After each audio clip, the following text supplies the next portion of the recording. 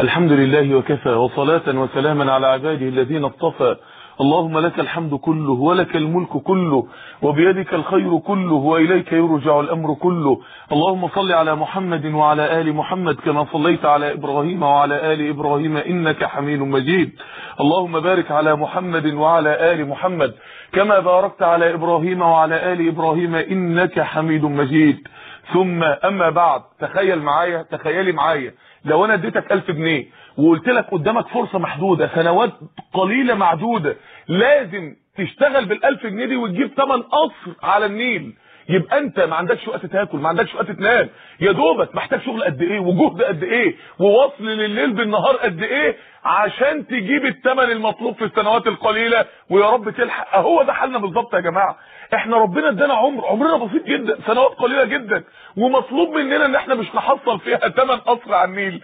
ده ثمن قصور على انهار الجنة. مطلوب فيها نحصل ثمن الجنة. يبقى عايزين جهد قد إيه؟ وشغل قد إيه؟ ووصل لليل بالنهار قد إيه؟ ويا رب نلحق. يا رب نلحق. يا جماعة أنا عايز أقول لكم إحنا محتاجين نشتغل قد إيه؟ عشان نلحق نوصل لربنا سبحانه وتعالى. الإحساس ده إحساس إن مفيش وقت. احساس ان مفيش عمر لما جيت في قلب الصحابي ربنا قال عليه وأما من جاءك يسعى جاي جري حاسس ان مفيش وقت. الاحساس ده لما جه في قلب الأنبياء ربنا قال عليهم إنا أخلصناهم. يعني إيه بقوا خالصين للعمل للآخرة؟ ما بيفكروش في حاجة غيرها ما بيجتهدوش لحاجة غيرها ما بيشتغلوش لحاجة غيرها. درس النهارده يا جماعة درس الليلة عايزين نعرف مين ربنا. مين ربنا اللي إحنا بنعبده؟ عايزين نعرفه عشان نشتاق ان إحنا نوصل له عشان نشتاق ان إحنا نشتغل عشان نشتاق ان إحنا نوصل لربنا سبحانه وتعالى. يا جماعة إحنا قدرنا العربيات والموبايلات والعمارات. قدرنا الدنيا حق قدرها بس ما قدرناش ربنا حق قدره. ما قدرنا الله حق قدره. لما حصل لنا ابتلاء جرينا على كل سبب وكل مخلوق ونسينا ربنا ما وقفناش على بابه. ما قدرنا الله حق قدره. في كل لحظة عطينا فيها ربنا. ما قدرنا الله حق قدره يا اخوانا اللي اللي كان ربا. اللي نظر حرام. اللي سمع حرام. ما قدرش ربنا حق قدره. ما قدرنا الله سبحانه وتعالى الملك الجليل. حق قدره. لما رحنا له لما كنا محتاجين وأول ما فرج كربنا سبناه ما قدرنا الله حق قدره. لما استهترنا في علاقتنا بالملك الجليل. خدوا بالكم يا جماعة. خدوا بالكم إحنا لو خرجنا من الدنيا ما عرفناش قدر العربيات مش مشكلة. لو خرجنا من الدنيا ما عرفناش قدر العمارات مش خسارة. ولكن لو خرجنا من الدنيا ما عرفناش قدر الله هتبقى خسارة لا تعوض ابدا في حياتنا كلها. عايزين نعرف مين ربنا؟ اللي بيكبر في الصلاة بيقول الله أكبر وهو قلبه لسه في السوق. اللي بتكبر في الصلاة وقلبها لسه مع مذكرة الدراسة اللي على المكتب بتاعها. اللي بيكبر في الصلاة ولسه قلبه مع اللي شافها وهو داخل من باب الجامع. اللي بيكبر في الصلاة وربنا مش أكبر شيء في قلبه. لازم لازم نوصل لدرجة من معرفة ربنا إن إحنا نسمع بقلوبنا قطيف السماوات. وهي بتقص من كتر عبادة الملائكة فوقها. لازم نوصل بقلوبنا من احساسنا بجلال الملك إن إحنا نسمع بودنا كل شيء حوالينا بيسبح الملك الجليل. لازم نوصل من معرفتنا لله واحساسنا بعظمه ربنا إن إحنا سامعين حملة العرش والملأ الأعلى بيطوفوا حوالين العرش وبيسبحوا ربنا سبحانه وتعالى. لازم يا جماعة لما الإحساس بعظمة ربنا أخطر إحساس في الدنيا أخطر شيء في الوجود الإحساس بعظمة ربنا ده أخطر مشاعر هتعيشها في حياتك وأنت بتسمع ربنا. أعظم مشاعر في الوجود وانت بتتدبر في مخلوقات ربنا. لما الاحساس بعظمة ربنا جه في قلب جبريل جبريل اللي في يوم من الأيام شال بجناح من جناحته. قرى سبع قرى ورفعهم للسماء وهبدهم لما الاحساس ده جه في قلبه بقى زي الحلف البالي. يعني حتة قماشة متقطعة ومرميه على الأرض. لما الاحساس بعظمة ربنا جه في قلب الحجر والصخر جبل الطور الجبل الأصم الجلاميد بتاعت الجبل. بقى التراب اتنفى في الجبل اتهدم الجبل بقى ذرات تراب في الحضار لما جه في قلبه الإحساس بعظمة ربنا الجبل اللي مثبت الأرض من ثقله وثباته. لما أنت يجي في قلبك الإحساس بعظمة ربنا هتعمل إيه؟ لما تحس بعظمة الملك الجليل من هو الله؟ مين هو ربنا؟ مين هو اللي انت بتسجدي له؟ مين هو اللي انت ساعة ولا ساعتين وتقف بين ايديك الثلث الأخير تناجيه مين هو اللي ساعة الفجر هتظبط المنبه وتصحى وتسيب الدنيا كلها وتنزل تصلي له في الجامع؟ مين اللي بتصوم له؟ مين يا جماعة؟ مين مولانا الجليل؟ عايزين نعرف عظمة ربنا سبحانه وتعالى. هم قعدوا يسمعونا عن الممثلين الممثلين والممثلات.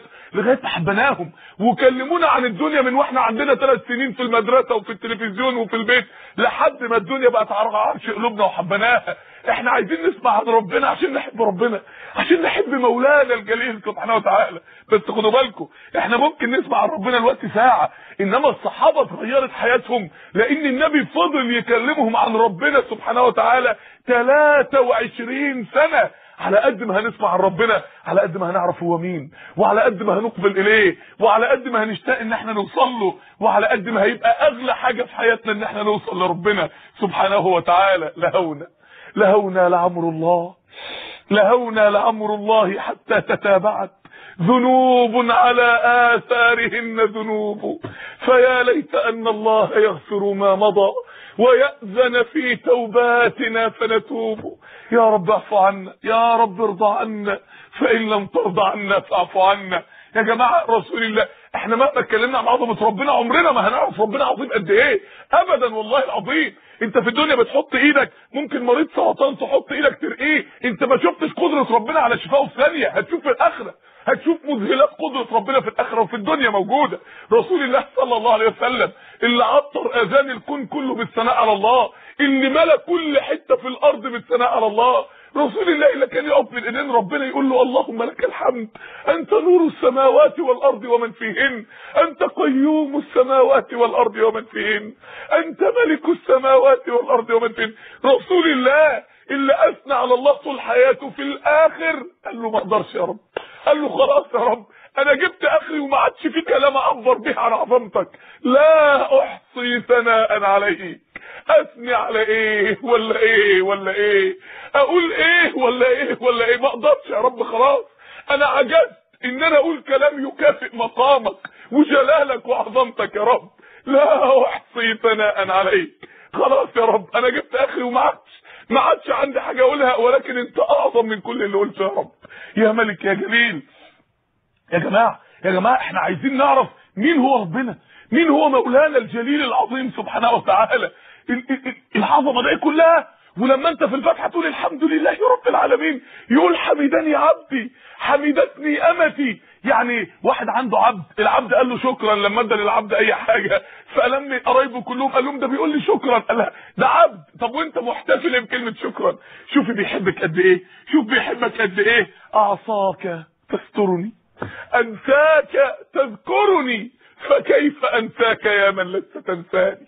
أحد الصالحين عبد ربنا 40 سنة وبعد كده انتكس وساب العبادة 40 سنة وجه يرجع في آخر عمره فبيقول له هل لي من توبة يا رب سمع هاتف بيهتف بيه عبدتنا فقربناك وعصيتنا فأمهلناك. وإن عدت إلينا قبلناك قبلناك. شايفين الملك الجليل؟ عايزين نسمع عن عظمة ربنا لغاية ما حياتنا تتغير لغاية ما قلوبنا ترتجف لغاية ما قلوبنا تسجد تحت عرش الله سبحانه وتعالى. يا جماعة أنتوا متخيلين إحنا بنسجد لربنا دلوقتي وإحنا مش شايفينه؟ أنتوا متخيلين يوم ما هنشوفه؟ يوم ما هنشوفه يوم القيامة؟ المؤمنين وهم النار قدامهم والصراط على شفير جهنم منصوب والجنة بعد الصراط. أول ما يشوفوا ربنا في الموقف ده بعد مرور حوالي 45 ألف سنة من أرض المحشر بعد مرور عشرات الوف السنين في أرض المحشر أول ما يشوفوا ربنا ينسوا كل ده ينسوا الجنة وينسوا النار وينسوا الصراط ويخروا ساجدين في أرض المحشر. أول مرة هتسجد له وأنت شايفه سبحانه وتعالى. رسول الله صلى الله عليه وسلم أول مرة هيشوف ربنا بيقول فأسجد جمعة. يسجد أسبوع كامل من أول مرة يشوف مولاه سبحانه وتعالى أول مرة يسجد له هو شايفه عليه الصلاة والسلام.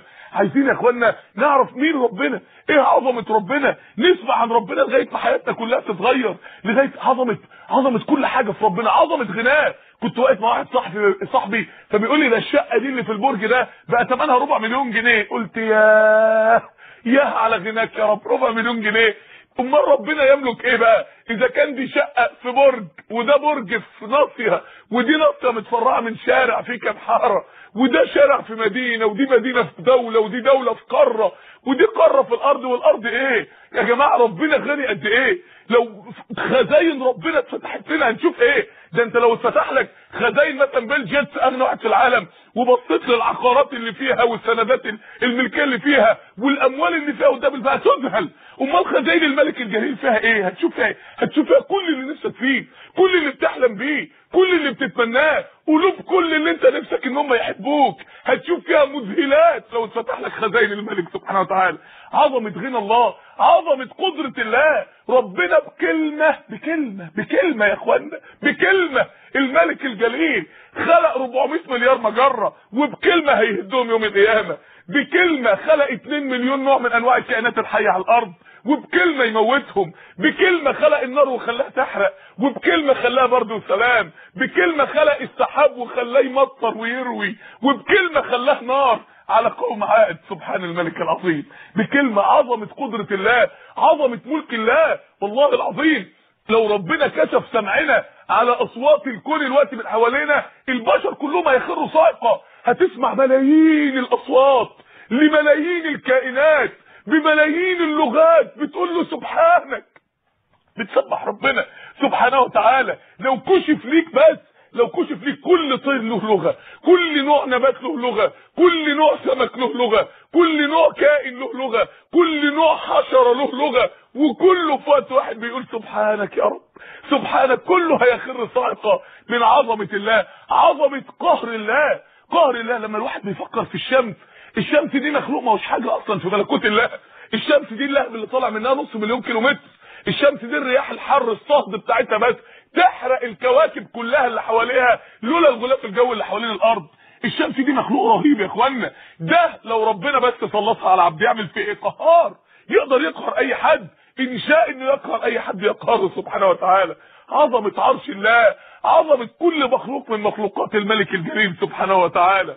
عايزين نسمع عن عظمة ربنا لحد ما نسجد له لحد ما نعرف مين هو الله مين هو ربنا لحد ما نعرف إحنا محتاجين له قد إيه. نقول له يا رب يا رب محتاج لك يا رب محتاج تبقى معايا يا رب ما أقدرش استغنى عنك ما أقدرش اخسرك يا رب بعد ما عرفت جلالك ما أقدرش أروح لأي باب غير بابك يا رب أنا ماليش غيرك يا رب. أول حاجة هنتكلم عنها الليلة بس خد بالك ممكن تكون الشمس منورة الدنيا بره بره الشقة اللي انت فيها بس انت مفيش شمس عندك ليه؟ قافل الشبابيك افتح قلبك افتح قلبك للكلام عن ربنا افتحي قلبك للكلام عن مولاك اللي خلق ذرة ذرة فيكي افتحوا قلوبكم يا جماعة معايا بإذن الله. أول حاجة هنتكلم عنها عظمة عطاء الله. كلمة يا رب كلمة يا رب محتاج لك دي بتنزل إيه؟ الدعاء يا جماعة الدعاء ده اللحظة اللي الإنسان بيخلع بقى المكياج المزيف. اللي بيداري بيه عجزه وفقره وجهله ويمد إيده بكل ذل ويرفعها بكل فقر ورجاء ويترسم على وشه أجمل ملمح بيحبه ربنا انكسار ويقول له يا رب يا رب من غير ما انطق يا رب أنا بعترف لك إن أنا عرفت قدري وعرفت قدرك. اديني يا رب عرفت قدرك وعرفت قدري. طب خد وخد وخد. قطر الندى لما أبوها وكان ملك من ملوك المسلمين أراد إن هو يزفها لزوجها في بلد ثانية بنى لها في كل محطة هتنزل فيها قصر. ليه؟ بيحبها بيحبها بيحبها. يريد إن هو يكرمها ويعززها. أنت لو ربنا حبك هيبني لك في كل خطوة بتخطاها في الدنيا قصر من السعادة والسداد والتوفيق. ولو أراد إنه يعزك ويكرمك يا جماعة كلمة يا رب دي نزل بيها من خزائن الله أعظم من اللي نزل من خزائن كل ملوك الأرض من أول التاريخ. كلمة يا رب دي أثرت في تاريخ البشرية أكتر ما أثرت الحرب العالمية الأولى والثانيه وكل الحروب في التاريخ وكل قرارات الملوك والسلاطين في التاريخ. كلمة يا رب دي لو طلعت من قلبك يتفتح لها سبع أبواب للسبع سماوات. كلمة يا رب هو إيه اللي دق أبواب السماء واستنزل ألوف الملائكة ودق قوائم العرش ونزل الوف الملائكة في بدر غير كلمة يا رب لما طلعت من قلب رسول الله صلى الله عليه وسلم. هو إيه اللي شد شق المية في البحر الأحمر ووقف المية زي الجبال نصين وخلى موسى يعدي آه من غير كلمة يا رب لما طلعت من قلب موسى عليه السلام. هو إيه اللي عطر حرارة النار غير كلمة يا رب لما طلعت من قلب إبراهيم؟ مين اللي نجى ساره من, من ملك مصر؟ مين اللي نجى إبراهيم من نمرود؟ مين اللي نجى محمد عليه الصلاة والسلام من أبو جهل وأبو لهب؟ مين اللي نجى سيدنا هود من قوم عاد الظالمين؟ مين اللي نجى موسى من فرعون غير كلمة يا رب؟ غير كلمة يا رب يا ناس. يا ناس. يا ناس تتخلوا عن أخطر سلاح بتواجهوا بيه الحياة إزاي؟ يا ناس. يا ناس ده أنتوا مالكوش قيمة ولا لينا قيمة غير كلمة يا رب. ما يعبأ بكم ربي لولا دعاؤكم. كلمة يا رب هي اللي بتخلي لي قيمة في الحياة. يا ناس. يا ناس ده في ناس بكلمة يا رب. بكلمة يا رب يا رب أغثنا يا رب. بكلمة يا رب استنزلت من خزائن الله في لحظة اللي غيرها عاش عمره كله يجري وراه بجهده وما خدوش. في لحظة بكلمة يا رب وقلوبهم مليانة فقر ورجاء وإجلال وتعظيم لله. في لحظة خدت اللي غيرها فانا عمره كله وما خدوش والله العظيم. عايزين ما بقى ما نتوهش. سيدنا يونس عليه السلام سيدنا يونس ركب السفينة والسفينة فضلت تدخل جوه جوه جوه غمقت جوه المية خالص. وبعد كده يترمى يونس والسفينة تبعد ويونس لوحده في وسط محيط. انت اترميت في وسط محيط ما انتش ما انتش عارف شط أصلا. والسفينة تبعد ويجي الحوت الحوت والليل والبحر ضربوا كل أسباب النجاة في حياة يونس بالضربه القاضيه ما عادش فيه سبب نجاة. كل أسباب النجاة خدت الضربة القاضيه يونس يروح لمين؟ يونس يستغيث بمين؟ باللي البحر جندي من جنوده. باللي الحوت جندي من جنوده. باللي الليل والنهار في إيديه يقلبهم كيف يشاء. يونس قال يا رب يا جماعة. قال يا رب في بطن الحوت حصل إيه؟ الحوت اتحول لغواصة بحرية توصله للشط. الحوت والليل اتحول لخلوة هادئة لغاية ما النهار يجي ويتبدد الظلمات. والأرض أمرت وأنبتت شجرة اليقطين. ومئة ألف قلب جاحد كافر يلينوا ويدخلوا في الإسلام. و كل حاجة اخوانا اتحولت كل حاجة والبحر اتحول لنزهة خلوية. كل حاجة الأعداء اتحولت أصدقاء. حياتك كلها بقت لمصلحتك. كل الناس بقت مسخرة ليك. بكلمة يا رب كلنا يونس عليه السلام. كلنا بحر بحر يا اخوانا بحر بحر الشهوات اللي إحنا اللي هيغرقنا ده بحر الشبهات اللي هيغرقنا ده ننجو بيه إزاي؟ الظلام ظلام المستقبل يا ترى هيتجوز ولا لا؟ هيلاقي شغل ولا لا؟ المرض اللي عنده يحصل فيه مضاعفات ولا لا؟ المشاكل اللي خايف منها تحصل ولا لا؟ حوت النفس اللي عايز يبلعك. بس حوت يونس كان بيضيع الدنيا حوت نفوسنا بيضيع الآخرة. كلنا يونس وكلنا محتاجين نقول يا رب يا رب. أحلى كلمة في الوجود كلمة يا رب. ليه؟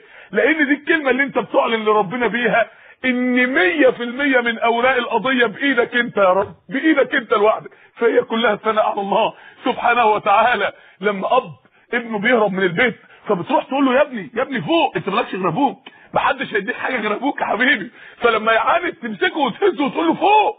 فوق. محدش هينفعك غير أبوك. أنا عايز أمسكك دلوقتي وأهزك وأقول لك فوق. لو افتقرت محدش هيغنيك غيره. فوق! لو اتظلمت محدش هينصرك غيره. لو مرضت محدش هيشفيك غيره. فوق! واصحى من الغيبوبة اللي انت فيها. فوق! يا كم مرة سترك وكم مرة حفظك. وكم مرة أطعمك وسقاك من يوم ما اتولدت. وكم مرة رفعت له إيده ونزل لك إجابة الدعاء بتاعك. فوق! فوق يا حبيب قلبي. مين اللي يقدر إنه يديك اللي هو بيديهولك؟ مين اللي يقدر إنه يعمل لك اللي هو بيعمله لك مين اللي يقبل إنه يغفر لك كل اللي أنت عملته بعد اللي أنت عملته في حقه؟ غيره سبحانه وتعالى. فوق مرة يوديك نعمة ورا نعمة عشان يصحيك وأنت لسه نايم. ومرة يموت واحد حبيبك عشان يصحيك. ومرة يبتليك عشان يفواك ويصحيك. بيقول لك فوق سبحانه وتعالى. فوق. لو جيت له عمره ما هيخيبك عمره ما يقفل الباب في وشك عمره ما يخيب رجائك فيه. بس انت تعالى بس انت اقبل ولا تخف بس انت ولي مقبلا ولا تعقب بس انت اقبل على مولاك سبحانه وتعالى. عايزين نهز نفسنا ونقول لنفسنا فوق فوق. زي بالظبط كده لما واحد واحد عادي عادي خلاص ملوش حاجة ولا صلاحيات وواحد تاني اتعين ضابط فبقى منتسب للسلطة العليا. فبقى له صلاحيات السلطة اللي هو منتسب ليها. ممكن ينزل يقبض على واحد من أكابر البلد. ليه؟ لأنه منتسب للسلطة العليا. محدش يقدر يكلمه. لو حد جه يعتدي عليه بمكالمة صغيرة السلطة العليا تبعت له نجدة وإغاثة عشان تنصره. ليه؟ منتسب للسلطة العليا. لو حد جه يظلمه مكالمة صغيرة كل حاجة تخلص. ليه؟ منتسب لسلطة عليا. انت لو انتسبت بقى للملك إيه النسب اللي بينه وبين ربنا؟ العبودية. لو انت بقيت عبد تخيل ربنا يعمل لك إيه؟ شوف واحد لما انتسب للملك بنسب العبودية ربنا عمل له إيه؟ شوفي شوفي وشوف عشان نعرف يا جماعة. ربنا بيقول كذبوا كذبوا فكذبوا عبدنا وقالوا كذبت قبلهم قوم نوح فكذبوا عبدنا. كذبوا مين؟ عبدنا. عبدي أنا يكذب عبد الله يكذب. وقالوا مجنون كمان. كمان عبدي يتقال عليه مجنون. وازدجر. هددوه كمان. لا شوف أنا بعمل إيه لعبدي. ففتحنا أبواب السماء بماء منهمر مليارات الجنود من قطرات المطر المنهمرة نازلة. وفجرنا الأرض عيونا. الأرض كلها اتفجرت عيون كأن الأرض ما عادش فيها غير عيون. فالتقى الماء على أمر قد قدر وحملناه على ذات ألواح ودثر ليه؟ عبد ما يكذبش. عبد ما يؤذاش يبقى ننتسب للسلطة العليا يا جماعة. عظمة عطاء الله. ده أول نقطة اتكلمنا فيها الليلة. عظمة عطائه عشان تقول يا رب محتاج لك. عشان نتعلم كلمة يا رب تخرج من قلوبنا. النقطة الثانية عظمة كرم الله ورحمة الله ولطف الله ونعمة الله. سبحانه وتعالى. تخيل لو انت حاكم بتحكم بلد من البلاد. البلد اللي انت بتحكمها ديت أربع أخماسها مش معترفين بيك كحاكم. ابدا. بل جابوا عرش مزيف وحطوا عليه فار وجزء تاني جابوا عرش مزيف وحطوا عليه بقرة. وجزء تاني جابوا عرش مزيف وحطوا عليه بشر عملوه إله. وجزء تاني تخيل والخمس الباقي بيكسر اوامرك ليل نهار والمملكة دي كلها مش لازمات في حاجة. ده ما تجيش مثقال ذرة في ملكوتك وفي ملكك. تعمل إيه؟ تعمل إيه؟ شوفوا يا جماعة هي دي الأرض. أربع تخماسها كافر. كفره كفر والعياذ بالله. والخمس الباقي المسلمين بيعصوا ربنا ليل نهار ومع ذلك بيحلم علينا. شوفوا حلم ربنا شوفوا حلم ربنا شوفوا رحمته بينا على الأرض. لما تيجي تفكر في الكرة الأرضية دي الكرة الأرضية دي عايش عليها 6 مليون. مليار بني آدم. كل واحد له الفضلات والزبالة بتاعته وكيس الزبالة. تخيل الزبالة بتاعت الكائنات دي كلها. ومليارات الأعداد من 2 مليون نوع من أنواع الكائنات الحية على وجه الأرض. كمان فوق كل ده وكل دول لهم الزبالة بتاعتهم. يعني إيه؟ أنت عايز تقول إيه؟ أنا عايز أقول لك تخيل لو عدد رهيب كده عايش في فندق وكله بيرمي زبالته ومفيش حد بينظف الزبالة. هيحصل إيه بقى؟ هيحصل هتبقى المنظر إيه؟ أهي الأرض كانت هتبقى مزبلة كده ما حدش يطيق إنه يعيش عليها. أمال ربنا عمل لنا إيه؟ ربنا خلق كائنات تتغذى على فضلات الكائنات بحيث إن فضلات كل كائن طعام كائن تاني بحيث إن الأرض تفضل نظيفه اسمع بقى قلبك. والأرض فرشناها. فنعم الماهدون. ده يا رب. هو مش كمان بس نطفل كمان شقه مفروش شقه مفروش وببعت لك اللي بينظفها لك كمان. بس انت تعبد. بس انت تعرفه.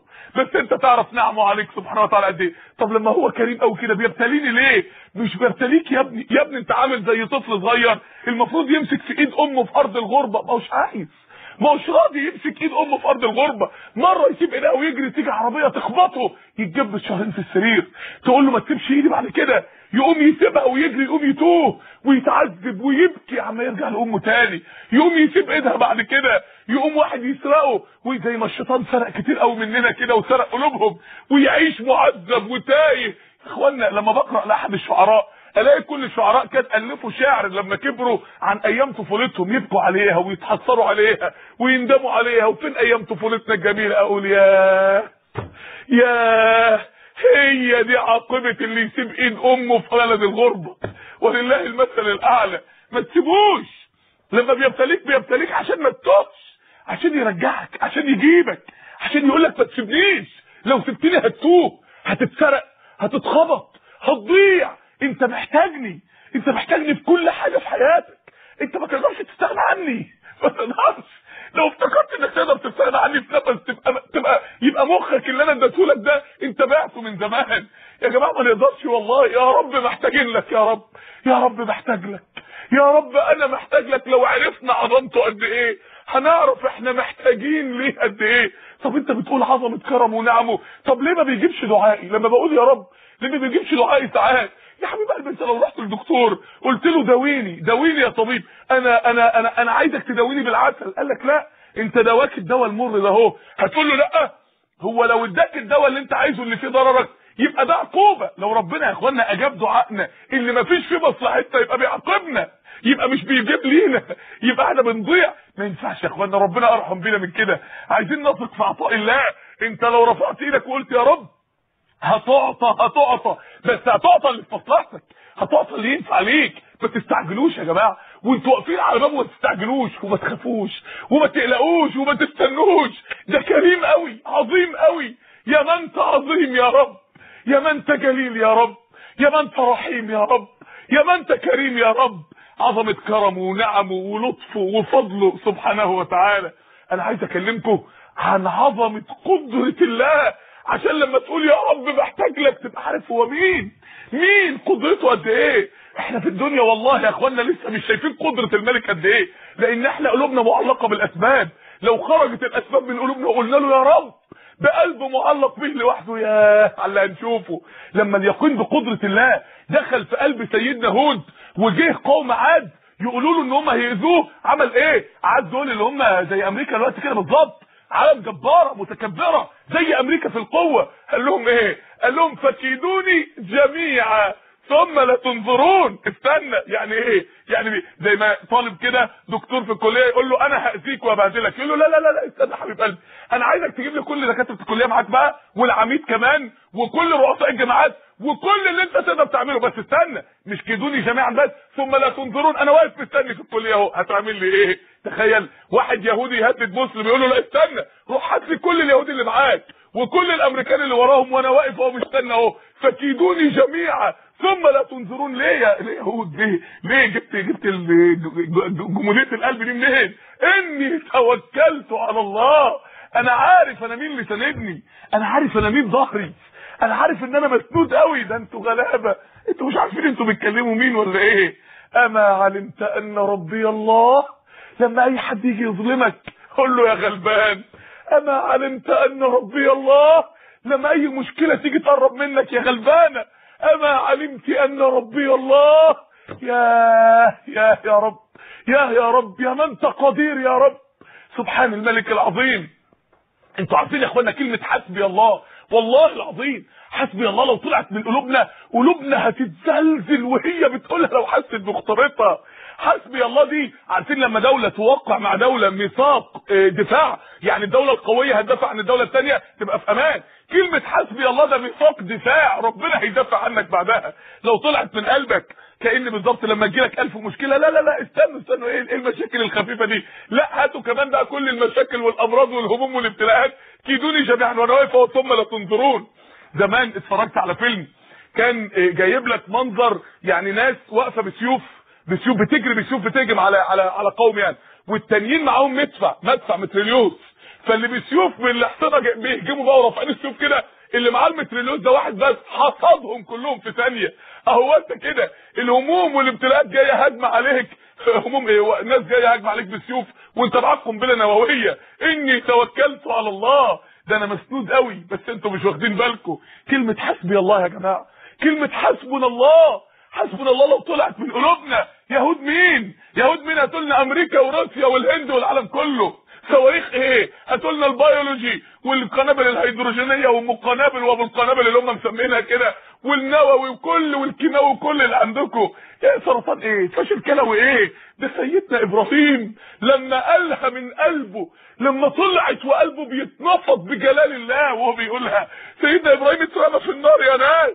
مفيش شعرة في جسمه ولا في راسه اتحرقت. مفيش حتة في جلده احمرت. مفيش ضافر ضافر بس اتحرق من ضوافره. يا اخوانا خذوا يقين إبراهيم. ينبت لكم في النار جنات النعيم. ينبت لكم في السرطان جنات النعيم. ينبت لكم في الفشل الكلوي جنات النعيم. ينبت لكم في الفقر والعنوسه والبطالة جنات النعيم. ينبت لكم في النووي بتاع اليهود والأمريكان جنات النعيم. بس يبقى عندنا اليقين ده. يبقى عندنا اليقين العظيم ده. أنا أعرف واحد من الدعاة كان عنده فيروس C فيروس C في كبده. وكان بيعمل تحاليل قدامي وكانت بتبقى انزيماتها عالية جدا.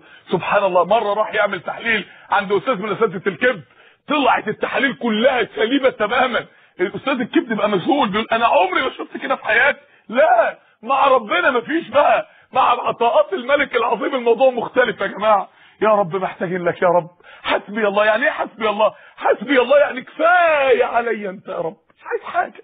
ما عدتش عايز لا قريب لواء ولا قريب ضابط ولا فلوس ولا ملك. مش عايز حاجة؟ أنا كفاية عليا أنت.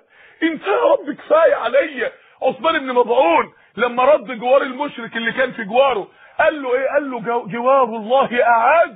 فلما ضربوه على عينه فالمشرك بيعاتبه قال له إن كنت لغني عن هذا. قال لعيني السليمة لفقيره إلى ما أصاب الأخرى في الله. واحد حاسس واحد عارف يعني إيه كفاية عليه ربنا؟ سيدنا محمد ربنا قال له لو كله تخلى عنك لو كله سابك لو كله تنازل عنك فإن تولوا لو كلهم دعوك فقل حسبي الله كفاية علي ربنا. سيدنا إبراهيم لما كله باعه حتى أبوه وأمه باعوه قال حسبي الله وهو بيترمى في النهر.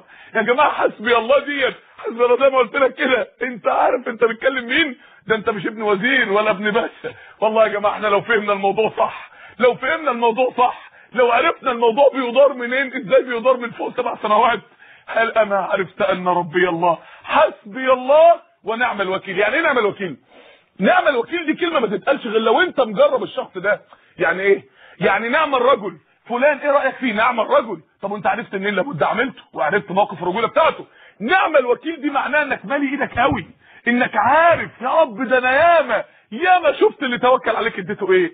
يا رب أنا شفت لما رفعت لك إيدي بافتقار اديتني إيه؟ نعم الوكيل المحامي بيتسمى موكل بيو بي بي بيوكل محامي. يعني واحد هيرجع لك حقك لو دافع عنك. ربنا هو اللي يرجع لك حقك لو دافع عنك. سبحانه وتعالى.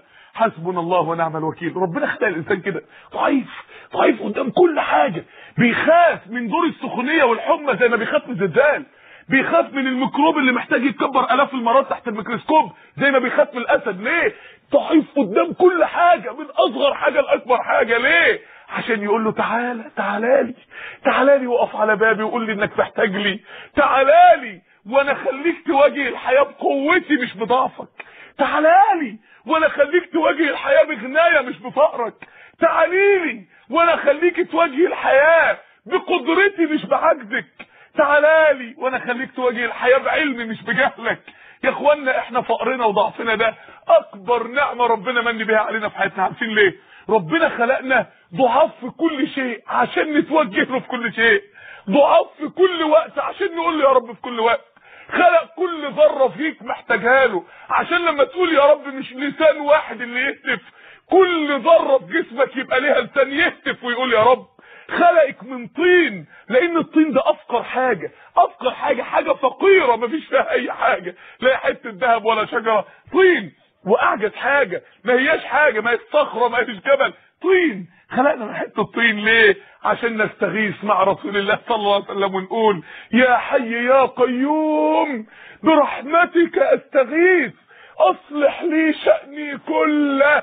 ليه؟ طب ما ربنا يصلح لك الحاجات الشديدة ويسيب لك السهل تبقى أنت تصلحه؟ يا رب أنا ما أقدرش أصلح حاجة. أنا يا رب عاجز أمام كل حاجة. أنا يا رب ما أقدرش أشيل 1000 كيلو وأقدر أشيل 5 كيلو. أنا ما أقدرش أشيل حاجة. أنا عاجز تماما. ولا تكلني إلى نفسي طرفة عين. عارفين الدعاء ده يا جماعة يعني إيه؟ يعني يا حي يا قيوم يا من أنت قائم على كل شيء. امبارح صاحي من النوم فتحتنا ناس بيشغلوا قران صحيت من النوم على قول الله أفمن هو قائم على كل نفس بما كسبت حسيت يا جماعة بنور والله العظيم. نور إن كلام ربنا ده نور. أنا صاحي على اسم الله القيوم سبحانه وتعالى. يا من أنت قائم على كل شيء برحمتك أستغيث أسألك برحمتك التي وسعت كل شيء. أصلح لي شأني كله أصلح لي كل شيء. ولا تكلني إلى التي أفسدت علي كل شيء. عرفت إن ربنا هو اللي بيده كل حاجة. سبحانه وتعالى يا من أنت قدير يا رب. عايزين نعرف قد إيه عظمة قدرة ربنا؟ قد إيه عظمة خلق ربنا؟ يعني إيه؟ الخلق يا اخوانا خلق الله. ده من الحاجات الرهيبة. ربنا يا اخوانا خلق. يعني إيه خلق؟ خلق يعني ما كانش في حاجة اسمها ايد ولا كبد ولا اعصاب ولا مخ ولا مجرة ولا شمس ولا قمر ولا زهره ولا فراشة ولا شجرة. كانوا عدم عدم وهو اللي جابه. ولما خلق خلق كل شيء يعني إيه؟ يعني يبقى ربنا خلق ولما خلق خلق كل شيء. يعني إيه؟ يعني ربنا ما فيش نموذج من نماذج الخلق استعصى عليه انه يخلقه ربنا نفس الأجهزة اللي خلقها في الفيل خلقها في البكتيريا الميكروب وحيد الخليه قادر سبحانه وتعالى.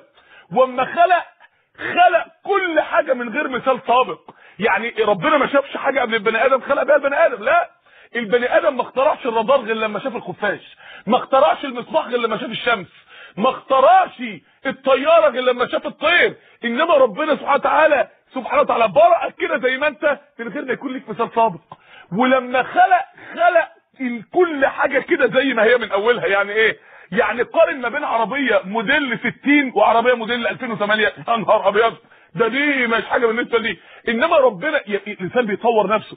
إنما ربنا من أولها خلقك كده. من أول مرة خلق الأسد كده من أول مرة خلق الطاووس كده من أول مرة خلق الفراش كده سبحانه وتعالى. ملك جليل. ولما خلق ما حد ساعده في الخلق. يعني إيه؟ يعني في بلاد دول تجيبها بالعربية في نص ساعة والملك معاه وزراء ومستشارين ومجلس شعب ومجلس شورى. إنما ربنا خلق العشرين ألف نوع سمك اللي في ملكوت البحر لوحده وخلق التسع تلاف نوع طير اللي في ملكوت الجو لوحده وخلق التلات تلاف نوع حيوان اللي في معجزة الغابات لوحده سبحانه وتعالى. وما خلق جدد معجزة الخلق كل مرة. يعني كان ممكن ربنا يخلق الشجر زمان ويفضل الشجر ليوم القيامة. خلاص السمك في البحر يوم لا. ده كل يوم شجر بيموت وشجر بيحيا. مليون زهرة جديدة بتطلع. مليون فراشة جديدة بتتولد. مليون جنين جديد بيتكون. مليون نجم جديد بيتولد. ليه؟ عشان يقول لك شوف اهو. شوف قدام عينك معجزة الخلق وهي بتتفتح قدام عينك. عشان تعرف قدرتها قد إيه. دلوقتي يقول لك النحات العظيم فلان المثال العظيم فلان. ليه؟ إن شاء الله. ليه؟ لأنه عارف ينحت طير من صخر والطير عامل كده مثلا. مثلا يعني. بس. عشان مخلوق واحد في صورة واحدة في شكل واحد ما بتتغيرش يبقى المثال العظيم. أمال بقى لو نحت صورة طير تخيل بقى صورة الطير وهو بيرفرف. وصورة الطير واقف على غصن شجرة بيبص في السماء ومنظره آية من الإعجاز. وصورة الطير وهو لسه مولود وفتح بقه وأمه بتطعمه وهو بيقول يا رزاق يا الله بيستغيث بالله مش في أمه. وصورة الطير وهو واقف على المية ويقوم نازل خاطف السمكة وطالع تاني في ضبط اتزان. وضبط اتجاه رهيب رهيب. وصورة الطير وهو صف جناحه وبيطير في الهواء. وصورة الطير وطير تخيلوا بقى أمال الملك العظيم الخالق العظيم ده غير مليون صورة وصورة جوه جسم الطير وجوه كل عضو وجوه كل نقطة من نقاط دمه. ربنا الخالق العظيم يا جماعة قد إيه عظمة خلق الله يا اخوانا الأرض دي عم ال- ال- الكون ده عامل زي كتاب كبير مليان كل كلمة فيه معجزة من المعجزات معجزة من المعجزات اللي ربنا خلقها. والكرة الأرضية بكل الآيات اللي فيها سطر واحد في المجلد الكبير ده. بل ما تجيش سطر واحد في المجلد الكبير ده. يا من انت عظيم يا رب. يا من انت عظيم يا رب. عظمة خلق الله. عظمة خلق الملك. عظمة هيمنة الله. يعني إيه عظمة هيمنة الله؟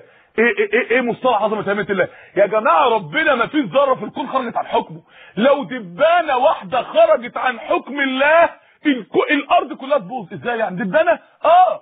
الدبانة ممكن تضع ألوف مؤلفة من البيض لو كلها عاشت وكل دبانه طلعت وضعت ألوف مؤلفة تانية في خلال أسابيع وعاشت في خلال فترة الأرض كلها تتملى دبان تبوظ. لو سمكة واحدة خرجت عن هيمنه الله الأرض تبوظ. مفيش ذرة في ملكوته خرجت عن حكمه سبحانه وتعالى. الراجل اللي لما جه يموت من خوفه من معصيه قال إذا أنا مت فاحرقوني ثم اطحنوني ثم اسحقوني ثم ضروني جزء في البر جزء في البحر. فلما مات أمر الله البر فجمع ما فيه وأمر البحر فجمع فيه. ده الراجل ده كان بقى ذرات يعني كل ذرة كانت تحت سيطرة الله وهيمنه الله. كله اتجمع وكل ذرة خدت المكان بتاعها في الكبد والكلى والعين والرجل والضفر وال- والقلب والرأس. سبحان الملك الجليل. سبحان الله. الأرض دي يا اخوانا قاعدة تلف حوالين نفسها. عاملة زي سفينة في بحر. قاعدة تلف تلف تلف تلف بسرعة رهيبة رهيبة. وحواليها كواكب عدد لا يحصى بتلف في البحر. مين اللي مسيطر على الكون كده لما بشوف منظر الشروق والغروب. أقول يا رب يا رب ده الشروق والغروب ده بيفكرنا إنك مسيطر على حركة الشمس والقمر والأرض والكون بالثانية. بالثانية يا رب يا رب إيه الهيمنة دي يا رب؟ إيه العظمة دي يا رب؟ إيه الجلال ده يا رب؟ يا جلال الله يا جلال الله يا قدرة الله. إيه الجلال ده يا ملك يا عظيم؟ إيه ده؟ إيه يا اخوانا ده؟ إيه الشرف اللي إحنا فيه الوقت ده؟ إن إحنا قاعدين دلوقتي بنتكلم عنه وبنسمع عنه ده بإذن منه والله العظيم. اللهم لك الحمد. شوفوا ربنا كريم قد إيه. شوفوا ربنا لطيف قد إيه ورحيم قد إيه سبحانه وتعالى. عايزين ما نبقاش أقزام يا اخوانا ما نبقاش أقزام. لحد إمتى؟ لحد إمتى قلوبنا هتفضل خارج نطاق الخدمة؟ لحد إمتى؟ أنتوا عارفين لما يكون المحمول خارج نطاق الخدمة؟ آه. فلو حد بعت لك رسالة ما توصلش ليه خارج نطاق الخدمة؟ ما توصلش غير لما يدخل في الخدمة. أو كذلك أنت قلبك خارج نطاق الخدمة مش هيوصل له رسائل ولا عطاءات ولا فتوحات. لما تيجي بقى وتقول له أنا خدام عندك يا رب أنا داخل الخدمة أنا خدام لدينك أنا هخدمك في الدجى والثلث الأخير بالعبادة. أنا هخدمك بالعبادة والطاعات والذكر. لساني هيخدمك بالذكر وجوارحي هتخدمك بالطاعة. هخدمك في كل لحظة من عمري يا رب. هخدم دينك بكل طاقتي يا رب. بقيت داخل نطاق الخدمة استقبل الرسائل استقبل العطاءات استقبل الفتوحات إحنا يا اخوانا بنقول عايزين نوصل لربنا. في ناس تانية بتقول عايزين نوصل للدنيا. امنية عمرنا نوصل للشهادة نوصل للفلوس نوصل للكرسي نوصل للمركز. إحنا عايزين نوصل لربنا إحنا مالناش دعوة بقى بالقلوب دي. إحنا عايزين قلوبنا تبقى بتاعت ربنا سبحانه وتعالى. تبقى بتاعت الملك الجليل لوحده سبحانه وتعالى. أنا عايز أكلمك عن عظمة حساب الله. يعني إيه عظمة حساب الله؟ عظمة إنك تقف تتحاسب بالايدين أنت مستهين بيها ولا إيه؟ إحنا يا إخوانا مش عايزين نستهين بالقضية ابدا. الموضوع اخطر مما نتخيل والله. مش عايزين حد يستنى ربنا. أنا بقول لكم الكلام ده أنا مش يعني الواحد لما يجي يولع نار مش عايز يتعمل عليه فنجان قهوة عايز يولع نار عشان الدنيا تتقلب. إحنا عايزين نتقلب عايزين نتقلب عايزين نبقى نبقى أبطال في طاعة الله سبحانه وتعالى. النهارده وأنا على طريق السفر وجاي فدخلت مسجد أصلي العشاء لما الأذان يدن وداخل هجان عايز ألحق تكبيرة الاحرام مش عايز تكبيرة الاحرام تفوتني مش عايز أسقط في امتحان إن أنا تعطلت عن ال- الوقوف بين ربنا من أول من أول الصلاة لحاجة. دخلت لقيت التكبيرة فاتتني. لقيت خمس صفوف كبيرة. المسجد كان ضخم وأنا داخل كده والله يا جماعة حسيت بمرار. قلت ياه كل دول سبقوني ليك يا رب. كل دول سبقوني ليك. وأنا جاي بعد كل دول كلهم. مش عايزين ندوق المرار ده يوم القيامة. عايزين في الدنيا في الدنيا نبقى اسبق الخلق إلى الله. وأنا أول المسلمين أنا الأول عليهم كلهم. وأنا أول ربنا علمنا الهمة والطموح. واحد بيقول لي ده فلان حافظ على تكبيرة الإحرام 40 يوم في 40 يوم. قلت سبحان الله. هو لو واحد جه يقول الموظف الفلاني طول مسيرته الوظيفية حافظ على الإمضة في ميعادها 40 يوم. هنضحك عليه. هنضحك عليه. يا اخوانا إحنا عندنا قزمية في الدين. إحنا مش عمالقة في الدين مش أبطال مش رجالة في دين ربنا سبحانه وتعالى. وأنا عشان كده بكلمكم عنه. بكلمكم عن ربنا. لأن أكتر حاجة تقلب حياتك وحياتك وحياتنا كلها إن إحنا نعرف من هو الله. فنقف على بابه ونقول له يا رب محتاجين لك. عظمة حساب الله. يعني إيه؟ خد بالك. من الحاجات الرهيبة إنك أنت يوم القيامة أنت مش هت... يعني قبل ما تشهد على نفسك ولا صاحبك تشهد عليك أنت أعضائك دي هتشهد عليك إزاي؟ أول ما أعضائك دي هتقف قدام ربنا تشهد عليك ليه؟ تخيل. ولله المثل الأعلى؟ إن أنت ربيت قطة والقطة دي اتولدت على إيدك وربيتها وكبرت و... وبعد كده راحت لواحد يوم عنده في بيته. وبعد كده القطة دي وهو ماشي بيها شفتك هتعمل إيه؟ هتجري عليك وتتمسح فيك. هي بتحبك أنت هي عارفاك أنت أنت صاحبها. أعضائك دي بتاعته هو. أول ما تقف بين إيديه وتشوف مولاها خلاص ما بتعرفكش بتنطق له هو سبحانه وتعالى. ساعتها بتاخد حتة خبطة. يا نهار أبيض! يا نهار أبيض على الغفلة اللي أنا كنت فيها. إيه ده؟ أنا ما كنتش أعرف إنك عظيم قوي كده يا رب. ده أنا كنت بحسب نفسي باشا ابن باشا. وطلعت عبد ابن عبد. ما كنتش أعرف كده والله يا رب. أنت ساعتها كله هيتبرى منك. إيديك هتبيعك رجليك هتبيعك جلدك هيبيعك عينيك هتبيعك ليه؟ عشان ربنا عشان مولاها سبحانه وتعالى. جوارحك هتنطق عليك.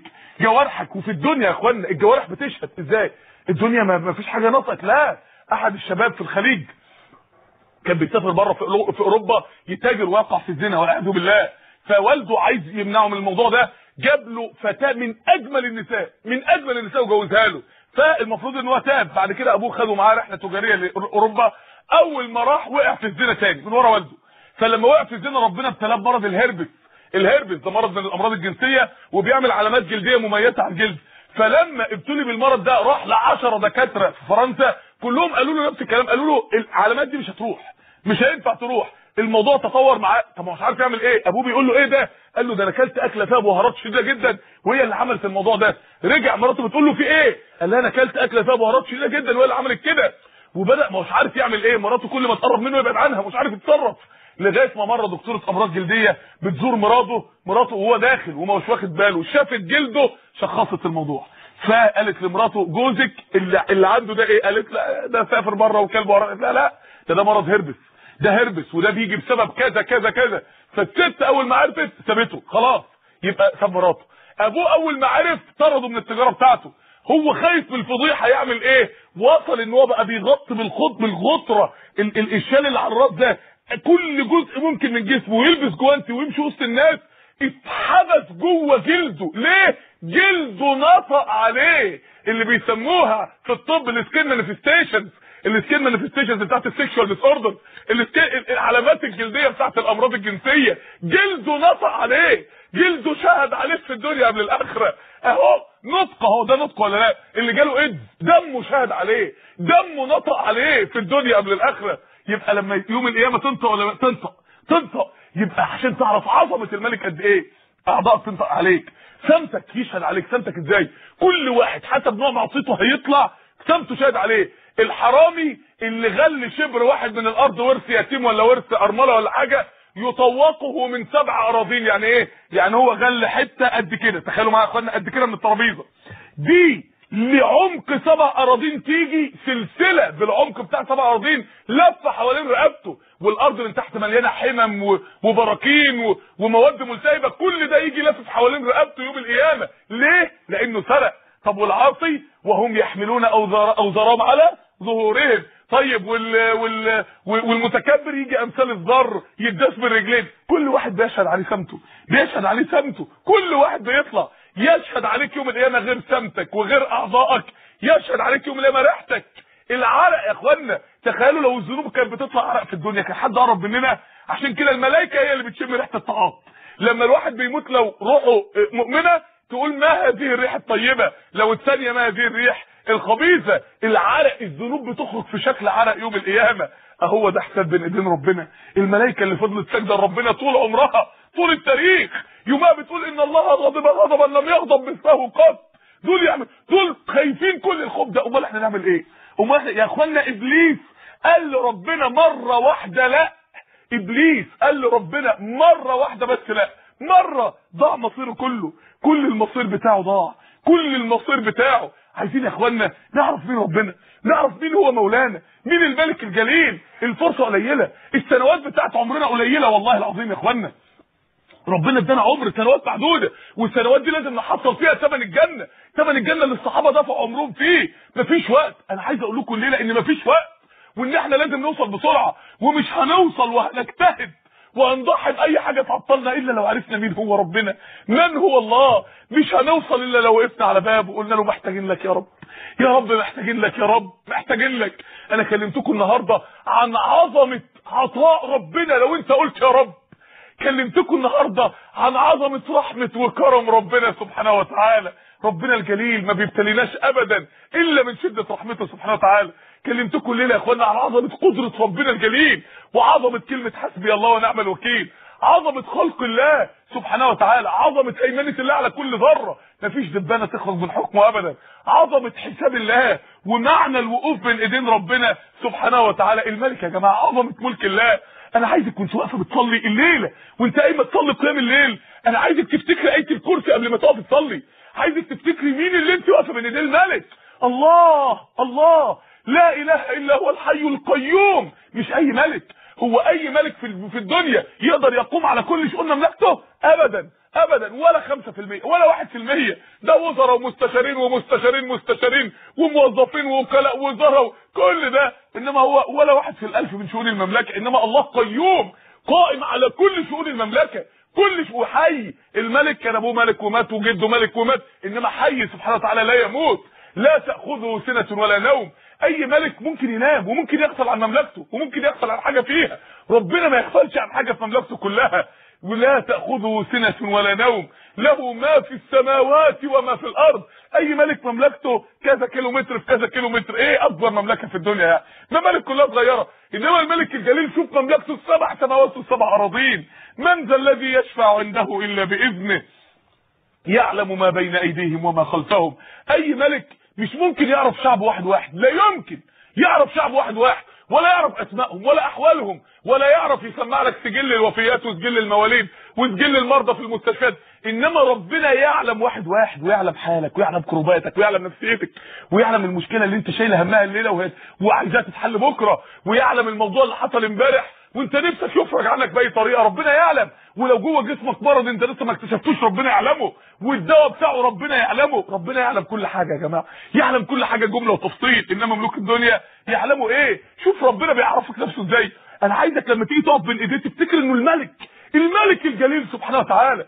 أنا واقف بين إيدين الملك. أعظم ملك. أعظم ملك سبحانه وتعالى. لا تأخذه سنة ولا نوم. له ما في السماوات وما في الأرض. من ذا الذي يشفع عنده إلا بإذنه يعلم ما بين أيديهم وما خلفهم ولا يحيطون بشيء من علمه إلا بما شاء. واسع كرسيه السماوات والأرض. الكرسي له موضع القدمين مش العرش. عروش ملوك الدنيا شوية خشب مذهب.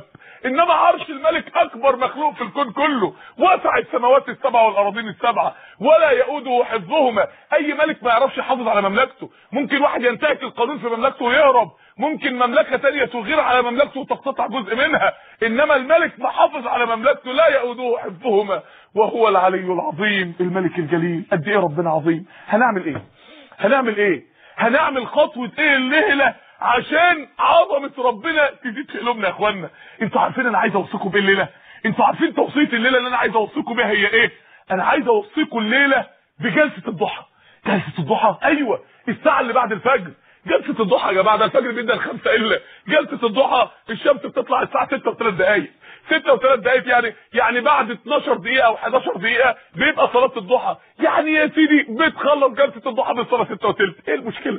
تلحق تنام لك ساعتين قبل الشغل بتاعك. إيه المشكلة؟ أو قبل الدراسه بتاعتك أو قبل ميعاد المذاكرة بتاعك. يا جماعة يا جماعة ده في سورة النور ربنا اتكلم عن جلسة الضحى. يسبح له فيها بالغدو والآصال. كأن ربنا بيقول لك لو عايز تمشي في نور الله جلسة الضحى اهي.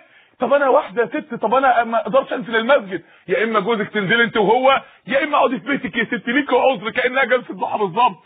طيب أنا المسجد اللي جنبنا ما بيفتحش للضحى. يا سيدي اقعد في أي مسجد امشي شوية ولا هتلاقي مسجد تاني. يا جماعة ده جلسة الضحى دي أجرها عند الله. من جاء صلى الفجر في جماعة ثم جلس في مصلاه يذكر الله حتى تطلع الشمس حسناء. يعني لغاية بعد الشروق ب 10 11 دقيقة ثم صلى ركعتي ركعتي الضحى كان له أجر حج وعمرة تامة تامة تامة. يعني إيه؟ الحج دلوقتي ب 50000 جنيه والعمرة ب 6 7000 جنيه. يعني 60000 جنيه ساعة. 60000 جنيه ساعة. المشاعر اللي قلبك هيحلق فيها وانت طاير للكعبة ربنا هيرزقك زيها وانت قاعد في ربنا. في الجلسة المباركة ده إيه؟ سمت الأنبياء اللي الأنبياء كانوا محافظين عليها. يا إخوانا يا اخوانا جلسة الضحى هتقول اذكار بعد الصلاة وبعد كده أذكار الصباح وبعد كده تقرأ القران ورد القرآن. يا جماعة القرآن إحنا قلوبنا محتاجة قرآن. يا جماعة أثر القرآن على قلوبنا زي أثر المطر على الأرض. قلوبنا متشققة زي الأرض العطشانة. عطشانة المطر القرآن. لما المطر بينزل على الأرض بتنبت من كل زوج بهيج. لما القرآن هينزل على قلبك هينبت ايمانيات ومقامات عظيمة. يا جماعة القرآن فوق ال 6000 آية. فوق ال 6000 نبراس ومصباح لو انت قريته وواظبت على قرايته كأنك بتسرج في قلبك 6000 مصباح 6000 قلوب رباني بينوروا في قلبك. سبحان الملك العظيم. تخيل قلبك يبقى منور عند إيه؟ واحد يقول أنا مش قادر. أصل الورد ده صعب. أصل العبادة صعبة. اللي بيستصعب العبادة عامل زي اللي بيهرب من لسعة ناموسه الأرض التعبان. لسعه ناموسه إنك تستحمل نص ساعة زيادة. بس عن ميعاد نومك. لعض التعبان اللي هي الشهوات اللي هتدمر قلوبنا لو ما غسلناش بالعبادة. يا حبيب قلبي أنت لازم تعبد ربنا. يا بنتي أنت لازم تعبدي. يا جماعة يا اخوانا إحنا لازم نعبد ربنا. اللي مست... اللي, اللي بيستصعب العبادة وأراضي العبادة عامل زي واحد ريحته فظيعة شنيعة ما بيستحماش. والناس هتموت. خلاص اتخنقنا. وبيجرجروه على الحمام يستحمى وهو مش راضي. يا ابني حرام الكون اتخلق اتخنق من ريحة المعاصي بتاعتنا. زي عربية قاعدة تطلع العدم بتاعها دخان والناس مخنوقة مش طايقة مش طايقة. انت قلبك قاعد يطلع دخان العدم بتاعه بيطلع دخان. خلاص عايز عمرة. حبيب قلبي المكنة جابت دخان بقى عايز عمرة. خلاص عايزين عمرة عايزين عمرة في العبادة يا جماعة. عايزين نعبد ربنا صح. عايزين نعبده. جلسة الضحى دي من أحب أوراد العبادة إلى الله. عايزين ما نفرطش فيها. اللهم أعنا عليها يا رب يا رب. يا رب محتاجين لك يا رب. ربنا يعيننا عليه. ثواب عظيم قلبك هينور ويومك هينور وهيتملى اليوم بالتسبيح من اولها أنا بقول لكم جلسة الضحى ليه؟ لأن اتكلمت عن ربنا وربنا عشان إحساس عظمته يزيد في قلبك عايز تسبح كتير. كي نسبحك كثيرا جلسة الضحى أساسا ورد تسبيح أساسا ورد تسبيح. فأنا بقول لك كده عشان تقعد تسبح ربنا في أول النهار كل يوم تتعود إن في ساعة يوميا بتسبح ربنا سبحانه وتعالى فيها. عايزين يا جماعة ما نفرطش في الورد ده ابدا. ما نفرطش في النور ده ابدا. ما نفرطش في هذا النبراس اللي ربنا اداه لنا ابدا. جلسة الضحى بالله عليكم يا جماعة. بالله عليكم ما حدش يستصعبها. طب جرب. طب جربي. ده حجة وعمرة. حجة وعمرة. الحج اللي بيطلع عينين الناس فيه بالشهر ويصرفوا 50000 جنيه ويرجعوا. انت بتاخده وانت قاعد. الكعبة يا سيدي جت لغاية بيتك. الكعبة يا أخي جت لغاية المسجد اللي جنبكم ولا مسجد السنة اللي قريب منكم؟ عايزين يا جماعة جلسة الضحى بالله عليكم. من أول النهارده من أول النهارده ما نفرطش فيها ونواظب عليها. وأكبر دافع والله بالنسبة لنا شخصيا يسبح له فيها بالغدو والآصال. اللي هي في سورة النور كأن ربنا بيقول لو عايزين النور لو عايزين انور لكم طريقكم لو عايزين تمشوا في نور الله طول الطريق لو عايزين ما تتوهوش لو عايزين ما تضلمش عليكم لو عايزين بصيرتكم تبقى مفتحة ما يضحكش عليكم ما تتوهوش ما تقعوش ما تنتكسوش. السعده اهي السعده اهي ثمن إن أنا أديكم النور ثمن إن أنا أنور حياتكم بنور الله سبحانه وتعالى. يعني يا رب محتاج لك. كنا بنتكلم الليلة مين هو ربنا؟ مين هو ربنا؟ عشان نعرف إحنا محتاجين له قد إيه. اللهم احيي قلوبنا بالعلم بك. اللهم احيي قلوبنا بمعرفتك. اللهم احيي قلوبنا بمعرفتك. اللهم اجعلنا لك صوامين لك قوامين لك ذكارين لك شكارين لك رهابين لك مطواعين لك أواهين منيبين مخبتين. رب تقبل توبتنا واغسل حوبتنا واسلل سخيمة صدورنا وأجب دعوتنا وثبت حجتنا واهد قلوبنا وسدد ألسنتنا. يا رب يا رب محتاجين لك يا رب. يا رب ملناش غيرك. يا رب ملناش غيرك. يا رب هداك. يا رب ارضى عنا. فإن لم ترضى عنا فاعف عنا. يا رب استعملنا ولا تستبدلنا. يا رب اجعل لنا في قلوبنا نورا. أنر قلوبنا بمعرفتك. أحيي قلوبنا بمعرفتك يا رب. يا رب لا تحرمنا من الصيام والقيام. أعنا على جلسات الضحى يا أرحم الراحمين. وتقبل منا يا رب العالمين. آمين آمين آمين. سبحانك اللهم وبحمدك. أشهد أن لا إله إلا أنت. أستغفرك وأتوب إليك. وجزاكم الله خيرا. ويعني ربنا يعيننا يا رب. سلسلة التفسير لم تقف يا جماعة. ولكن ساعات بيبقى الواحد عنده موضوع طاغي على مشاعره عايز يكلم الناس عنه. ولكن إحنا لا نزال في سلسلة التفسير بإذن الله سبحانه وتعالى. أقول قولي هذا وأستغفر الله لكم. وجزاكم الله خيرا.